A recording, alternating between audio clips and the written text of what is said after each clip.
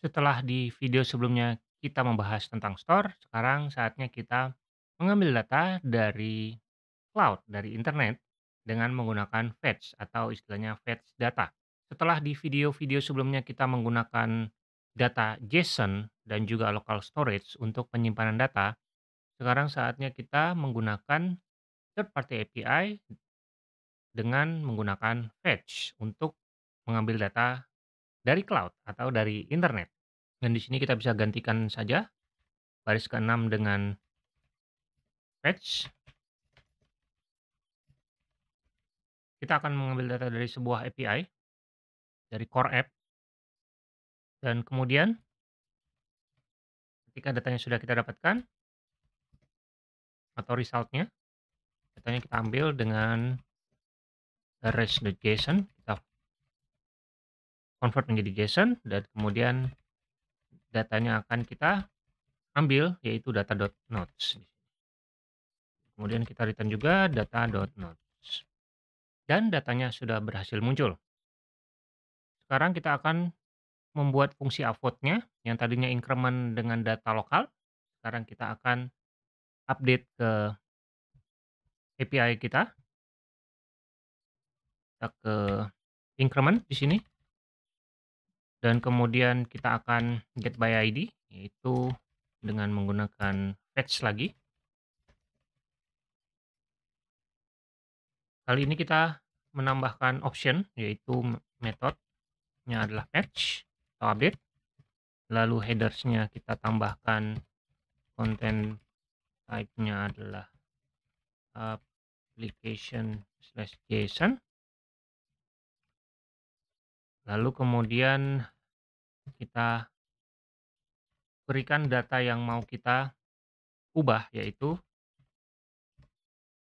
stringify yang mau kita ubah adalah score. Di sini kita perlu menambahkan ID dengan seperti ini saja, ID-nya sudah kita dapatkan di sini. Jadi kita tambahkan ke API-nya. Dan kemudian skornya kita perlu mendapatkan skor terdahulu, skor sebelum di increment dan kemudian kita kirimkan ke API untuk ditambahkan.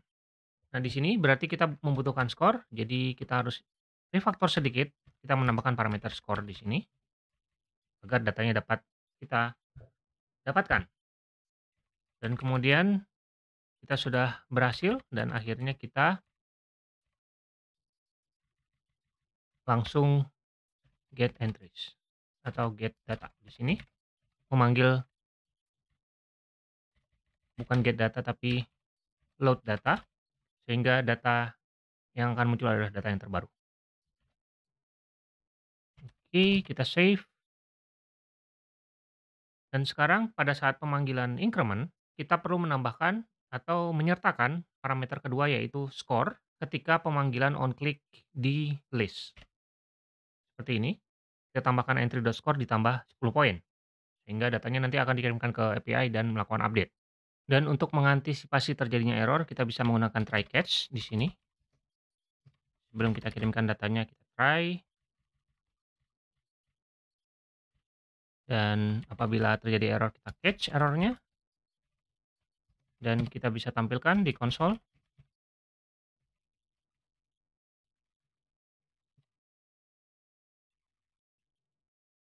Sekarang kita akan coba untuk upload. Tidak terjadi error.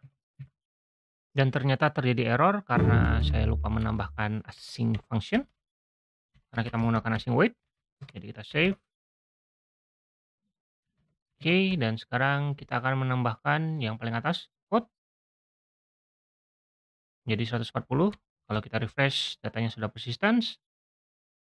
Kita vote 130, upvote lagi 140, naik ke atas. Naik ke atas sampai 160. Oke. Kita refresh. Dan sekarang datanya sudah berhasil di-upvote. Selanjutnya kita akan melakukan refactoring untuk add entry sehingga datanya bisa kita kirimkan ke third party API. Di add entry di sini kita sudah memiliki URL, title dan description.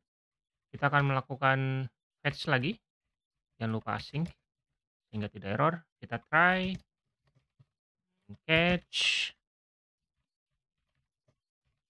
console.error dan di sini kita mulai fetch.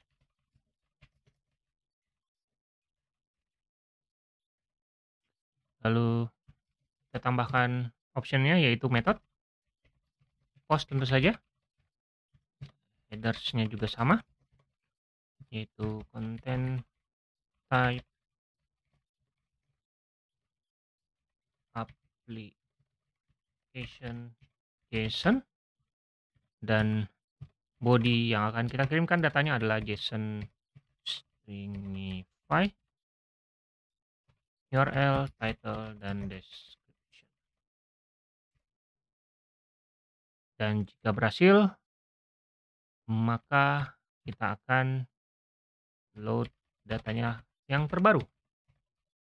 Dan kita return juga flash.json jika di, nanti diperlukan. Kita save. Kita cek di new di tempat penggunaan add entry. Di sini add entry sudah diimport. Di sini sudah dipanggil dan jangan lupa karena ini adalah pemanggilan atau pengiriman data ke API adalah sifatnya asinkronus, maka kita harus await dan di sini kita kasih async function sehingga tidak akan terjadi error. Dan kemudian kita save. Dan kita akan coba kreasi terbaru. Description dan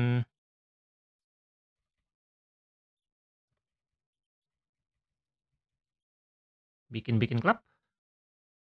Dan tidak ada terjadi error dan kita lihat di sini bikin-bikin klub sudah muncul, upload 10, 20 dan sudah naik dan datanya sudah persistent. Itu dia cara pengambilan data dari third party API dan pengiriman data ke third party API dengan menggunakan fetch dan juga dikombinasikan dengan store dispel. Kita sudah belajar bagaimana cara menampilkan data, mengupdate data dan menambahkan data ke third party API. Itu saja materi untuk kali ini. Jika teman-teman memiliki ide topik apa yang akan kita bahas berikutnya, silahkan tulis di kolom komentar. Sampai jumpa.